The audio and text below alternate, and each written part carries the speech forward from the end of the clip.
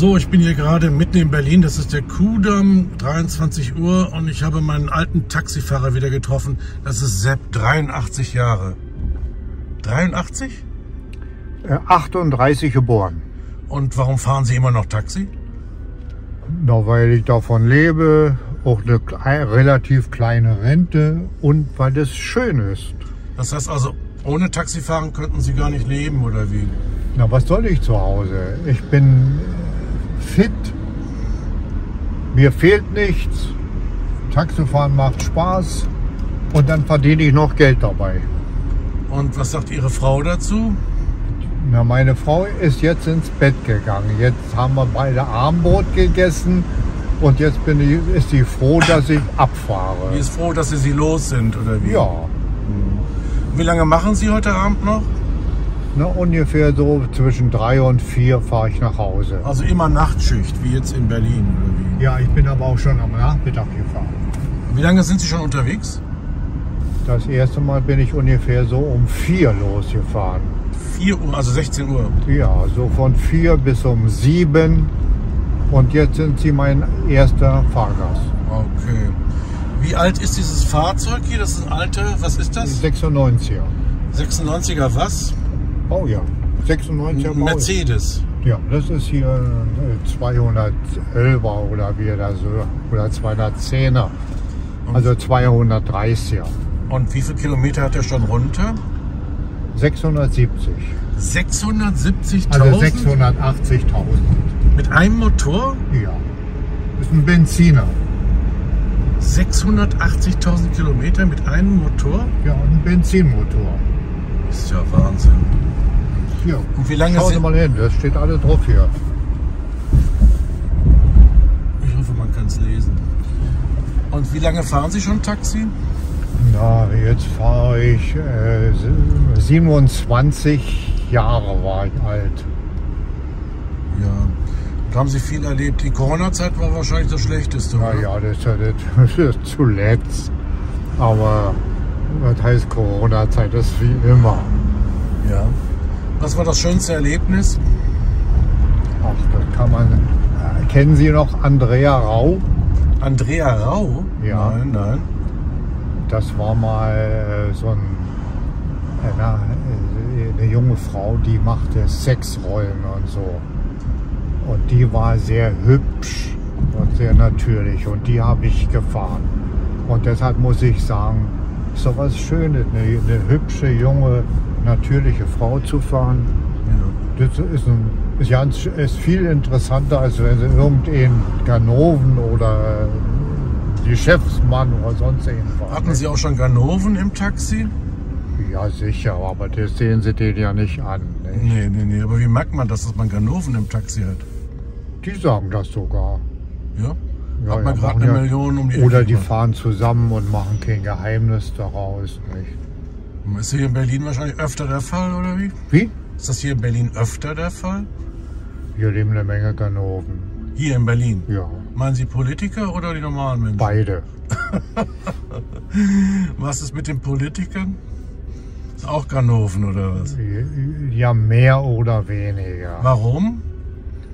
Na, weil sie einmal sehr, sehr gut verdienen und dann einen Job machen. Die meisten Politiker sind ja heute nicht mehr gefährdet, dass sie abstürzen können ins Nichts, sondern wenn sie den Job nicht machen, geht das Leben für sie weiter.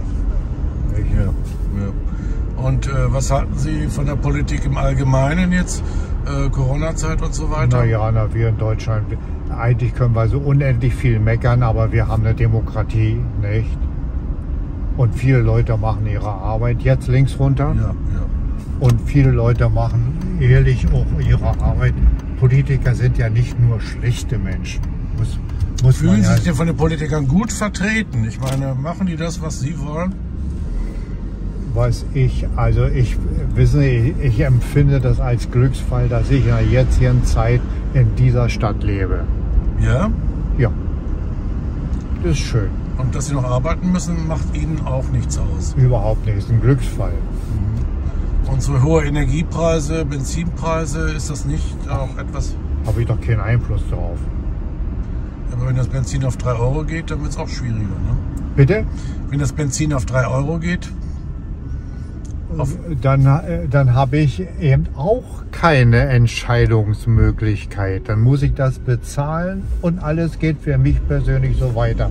Ich bin ein Mensch, für der für die ganzen kleinen oder ein bisschen größeren Dinge überhaupt keine Einflussmöglichkeit hat. Ne? sind Sie selbstständig? Ist das Ja. Ihr Auto? Ja. Gut, dann jeder Euro, jeder Cent, den Sie mehr in der Tanke zahlen müssen, ist dann aber auch für Sie ein Verlust. ja und nein. Geht doch alle immer weiter. Also Sie haben jetzt keine Angst davor, dass äh, wir hier in die große Krise, in die Energiekrise reinschlittern. Nein. Vor allen Dingen nicht, weil ich ja schon so alt bin. Warum? Na, Ich meine, wenn Sie alt sind, können Sie auch Probleme haben. Was soll mir denn großartig passieren? Ich kriege eine, kriege eine kleine Rente, die sich nicht verändert. Und wenn, wenn ich weniger verdiene und noch weniger, Rente kann ja nicht weniger werden, wenn ich weniger verdiene, dann muss ich mein Leben ein kleines bisschen mehr, noch mehr einschränken. Aber eigentlich ist das kein Problem. Also Also- für mich ganz persönlich gibt es keine Probleme.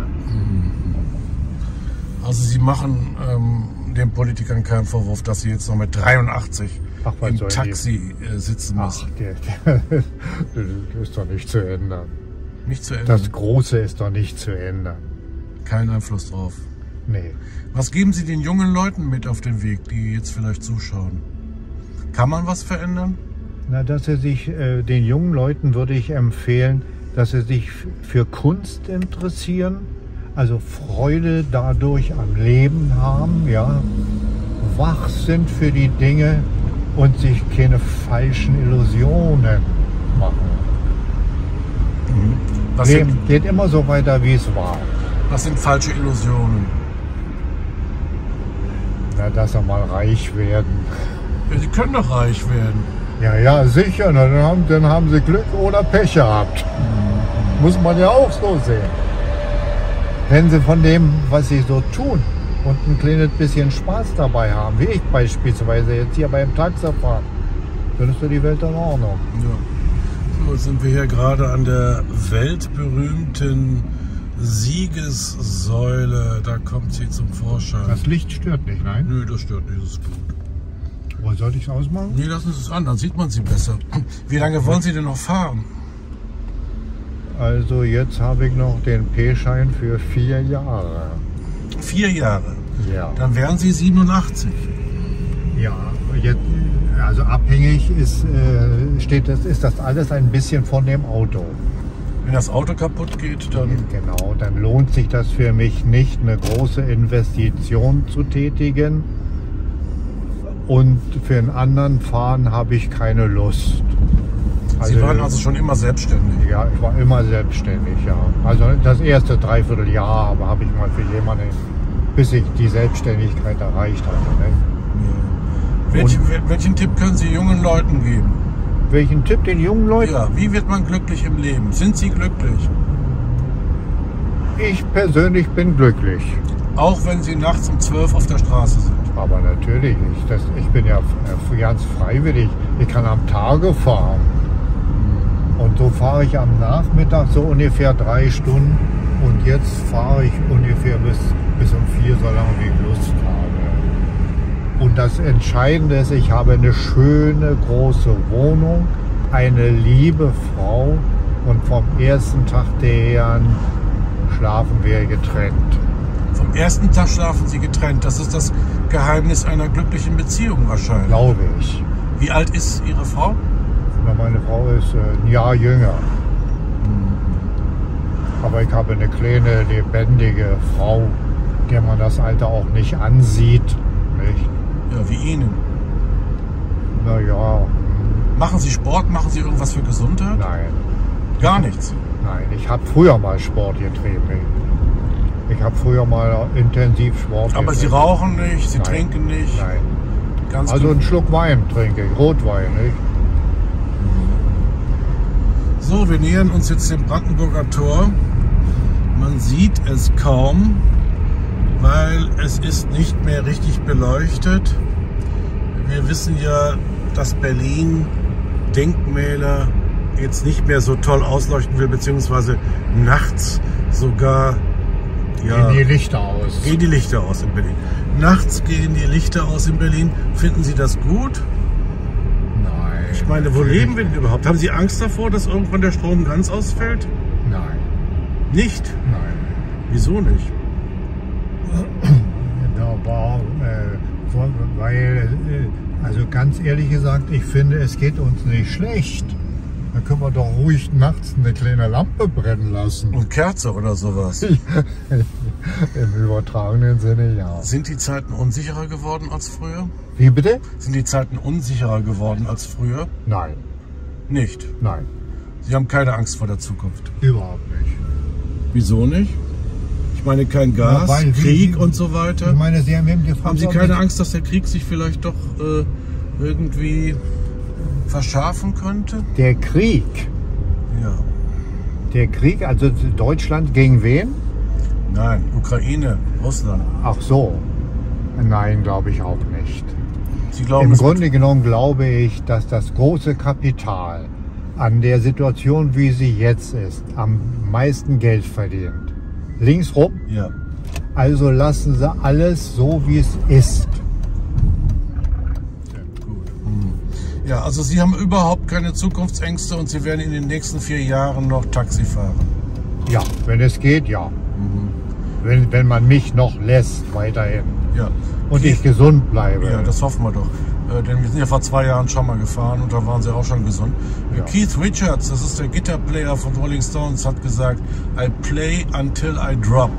Kann man bei Ihnen sagen, Sie fahren, an, bis Sie sterben oder wie? Bis Sie ins Grab so, fallen ungefähr, so ungefähr, ja. und dann sterben Sie aber als glücklicher Mensch. ja.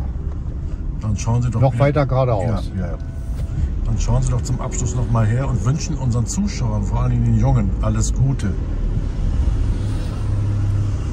Ja, Vielen Dank für das Gespräch. ich auch.